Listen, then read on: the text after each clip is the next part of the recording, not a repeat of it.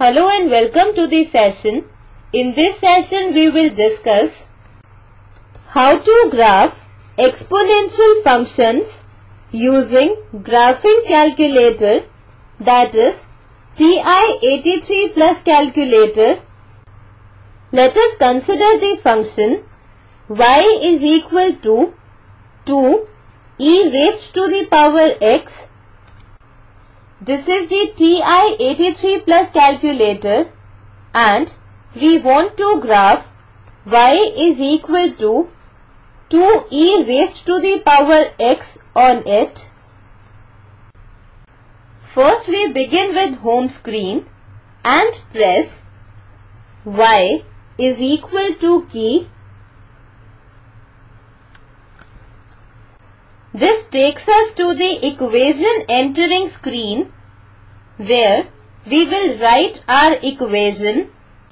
Now let us enter the equation 2e raised to the power x into y1. For this, first we press number 2 key, then round bracket key.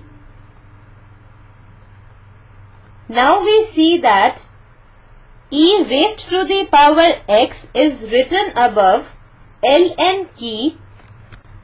So we press second key followed by e raised to the power x key and then we press x t theta n key for x and then press this closing round bracket key twice. So we get the following display on the screen. To view its graph, we press Graph key. On the screen, the graph of the exponential function y is equal to 2e raised to the power x will appear on the coordinate axis.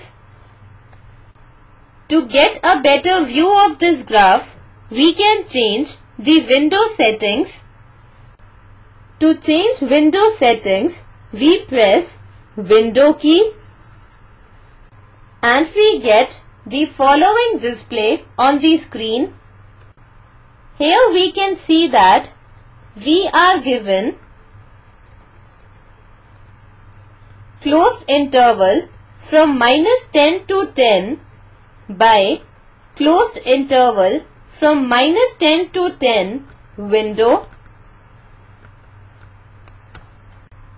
And we change it to closed interval from minus 5 to 5 by closed interval from minus 3 to 10 window for better display.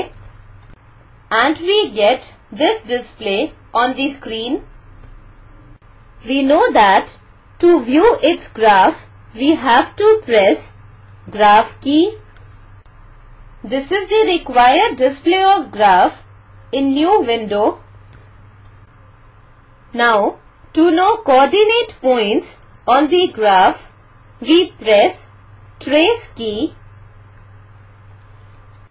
and we get the following display on the screen.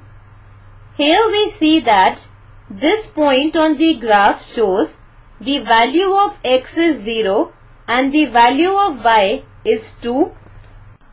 To know other points on the graph, we can scroll up and down the graph by pressing left and right arrow keys on the calculator. To have better view of coordinates lying on the graph, we can see table of values. For this, we press second key followed by graph key, we get the following table of values for this function. Thus we can graph exponential functions on TI-83 plus calculator. This completes our session. Hope you enjoyed this session.